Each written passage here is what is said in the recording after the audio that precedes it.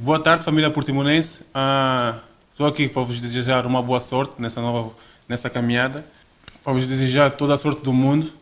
Uh, agradecer à administração que sempre me apoiaram, sempre estiveram comigo, sempre estiveram do meu lado. Uh, sempre me ajudaram a ser um jogador melhor. agradecer ao Mister, à equipa técnica e agradecer também aos meus colegas que sempre tiveram, sempre tiveram um carinho incondicional comigo nesses três anos, nesses, nesses últimos três anos.